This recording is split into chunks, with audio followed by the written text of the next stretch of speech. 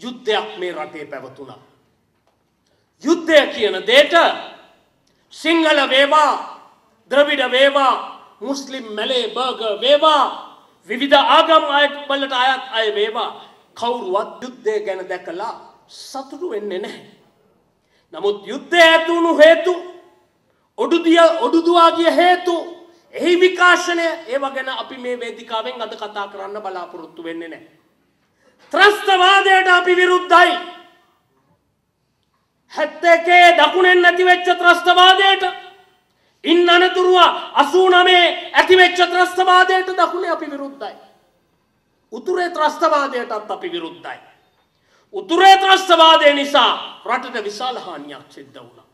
දකුණේ ත්‍රස්තවාදය නිසා රටට මහ විශාල හානියක් වුණා. හැබැයි අද උතුරේ ත්‍රස්තවාදය නැහැ. දකුණේ ත්‍රස්තවාදය නෑ.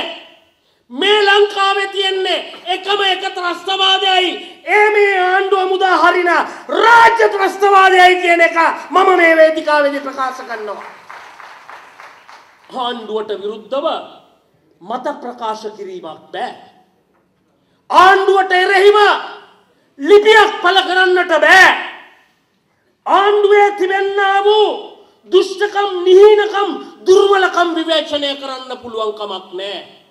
අද මේ රටේ සමාජයේ සමාජ ශෝධකයෝ පක්ෂ නායකයෝ විවිධ දේශපාලන ක්‍රියාකාරීන්ට වෙන දෙයක් කවුරුවත් දන්නේ නැහැ.